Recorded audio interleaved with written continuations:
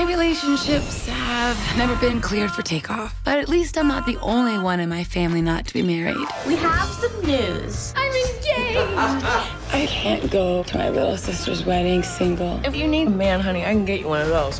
It's not a man I need, it's a husband or a potential husband in a month. Why don't you marry Gail? If she goes a week without waxing her mustache, they'll think it's Steve Harvey.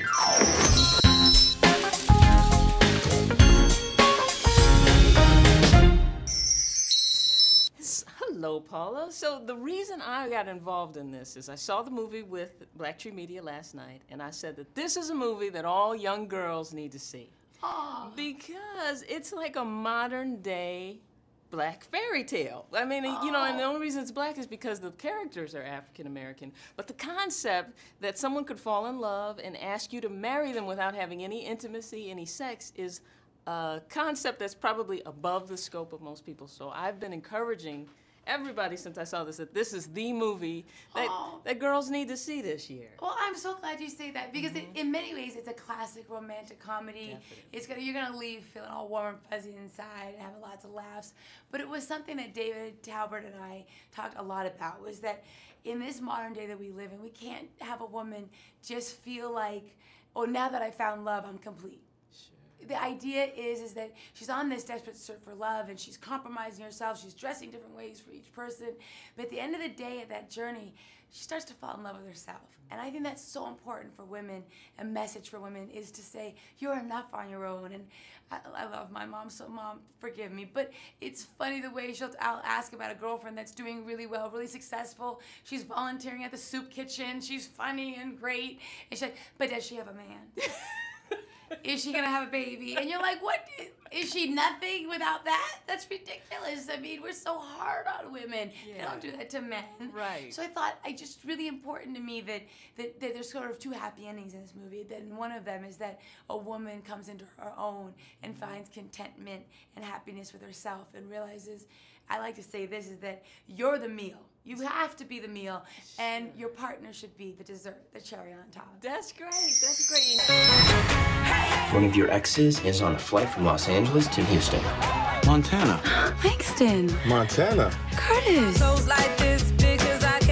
This is juicy. Sorry, she's jealous.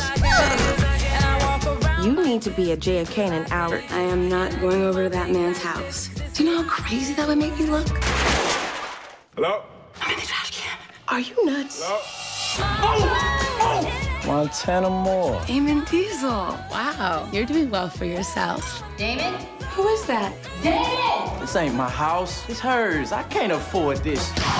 Damn door! She crazy. Open, open, oh, open, open, open! Told you she crazy. Crazy, she crazy.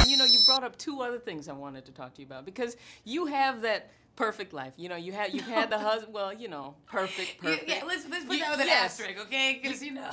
You have the American dream that everybody seems to think that you should have, which is a husband and a kid, you know? And so for you to step into this role and do such a good job with it and to be funny and warm, like I'd never seen you play such a hilarious character when you oh. climbed in the garbage can. I've done that. Yeah, have you? Yes. So that's what I was going to ask you. So, how much of this was taking from your real life and just.